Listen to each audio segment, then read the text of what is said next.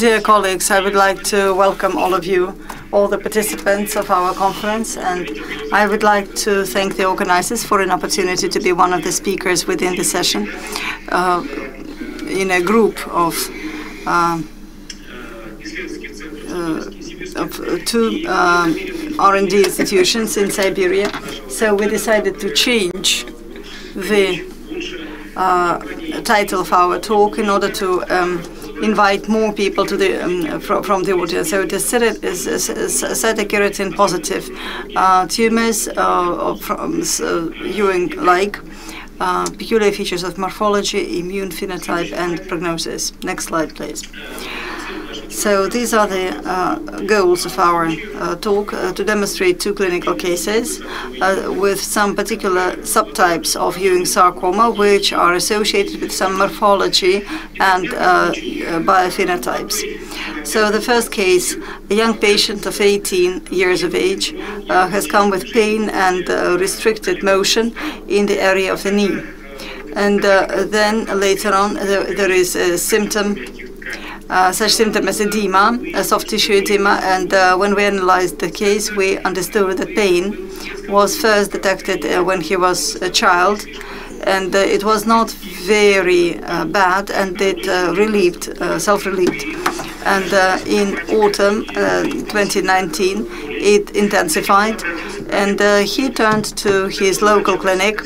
there was a conservative treatment, anti-inflammatory, and uh, it was not effective. In uh, radio diagnostics, in February 2021, we detected destruction in the uh, distal epiphysis of the right femoral bone. Uh, biopsy was performed, uh, and uh, we understood that it was a malignancy. There was histological the, the histology was performed and uh, Ewing sarcoma was identified. Subsequently, uh, according to the morphological variant, they um, started neoadjuvant chemotherapy.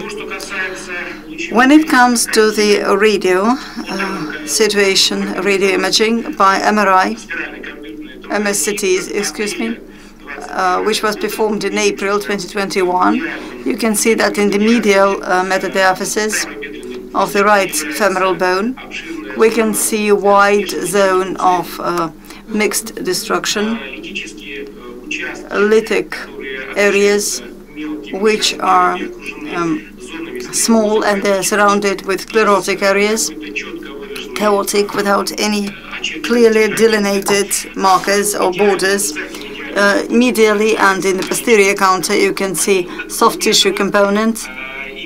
And also there is a periostal reaction as uh, such as a periostosis.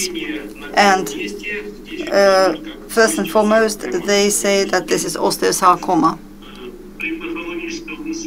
In morphological the morphology uh, shows polymorphic cells with cytoplasm and uh, some nucleus, the cells show nest-like islets or uh, just structures in, within the massive uh, desmoplastic stroma.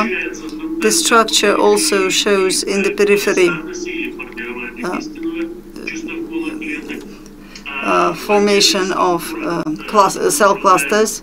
In some structures, you can see microfocus foci in, IHC, you can see specific markers as positive. This is CD99, FLI1, and also positive diffuse intensive expression of keratin AE1, AE3. Very weak reaction with epithelial membrane antigen.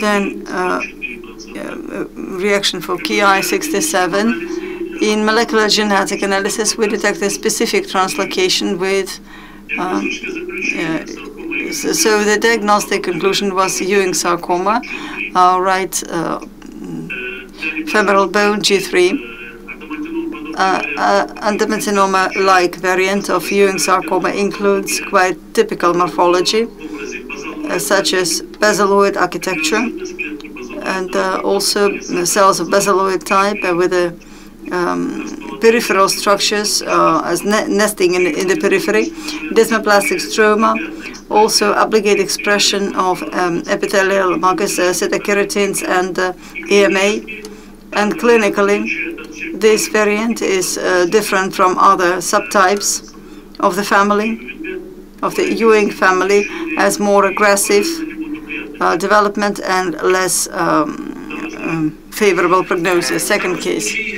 So the second case uh, is patient 52 years of age. She is female. She has also come with uh, pain and uh, um, mass in the left calf. Um, her history shows that in May 2019 there was an edema that appeared in the left uh, third of the calf, uh, which also accompanied with pain. They started anti-inflammatory treatment and also then antibiotics were initiated and some clinical improvement was achieved. But in October 2019, there is a, a, a relapse with more intense pain. They uh, performed um, complex imaging and they detected destruction at the level of uh, uh, destruction of the bone with the extra osteal component. They also performed biopsy in uh, April 2020. The result is deep diagnosis, including neuroendocrine carcinoma, grade 3, metastatic genesis, as well as adamantinoma and osteosarcoma.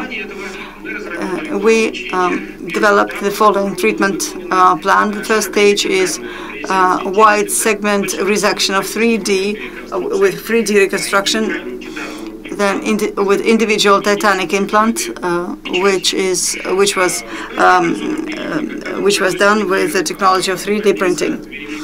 Then systemic systemic treatment when we verify the diagnosis, the patient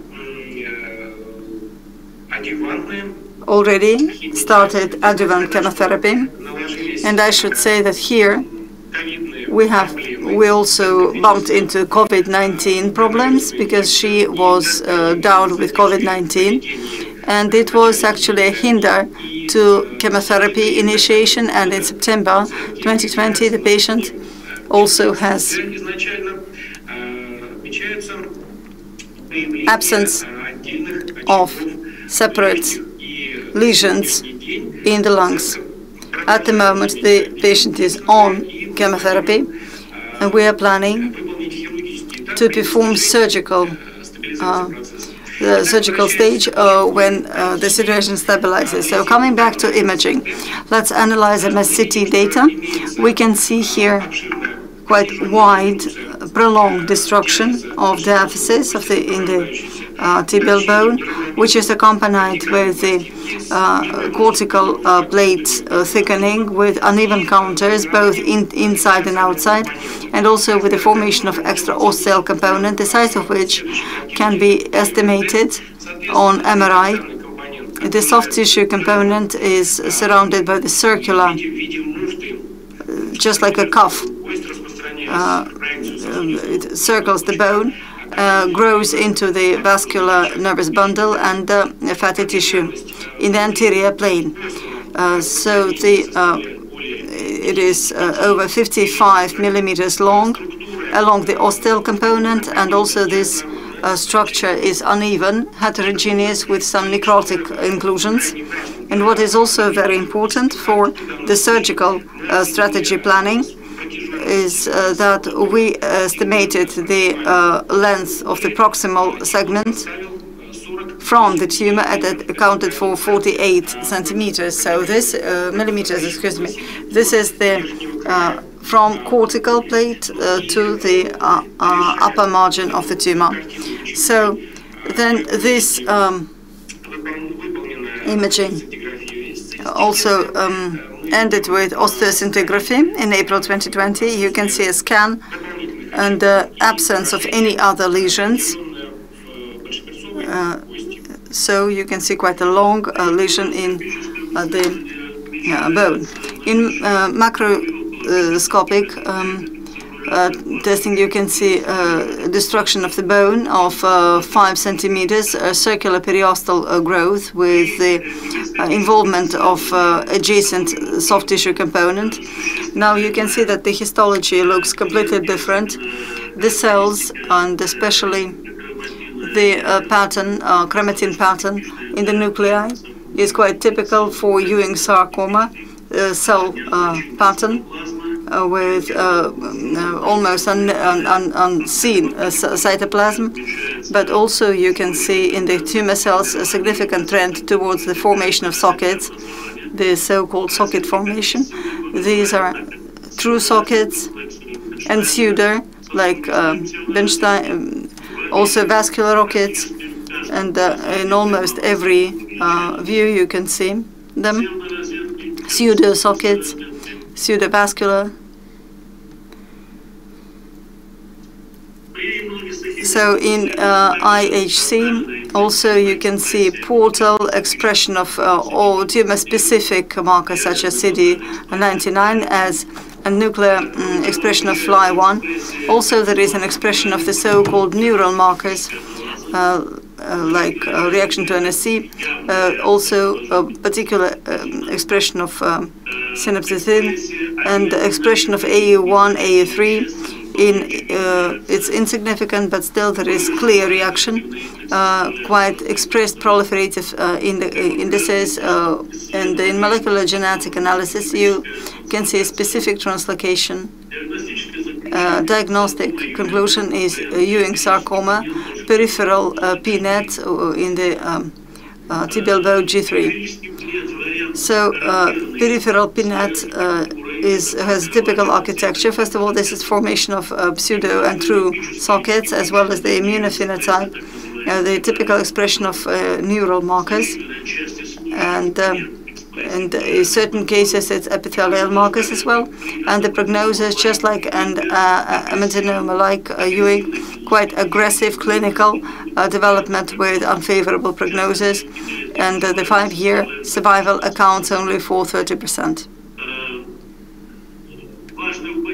Most important is that the uh, criteria of uh, the so-called neurality, according to the uh, uh concept of uh, Hübner Schmidt from Germany, morphology of uh, sockets and pseudo-sockets with a ratio of 1 to 5, so many more pseudo-sockets. Immunophenotype expression is 2 and over neural markers. CD57, S100, NSE, NF, and uh, synaptophysin.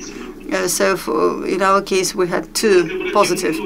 Uh, if you look at the overall um, family of uh, Ewing sarcomas, according to the uh, Pinto classification, they uh, unify eight subtypes, classical or typical variant, and atypical or large cell, peripheral uh, adamant, adeno, amentinoma-like variant, spindle cell.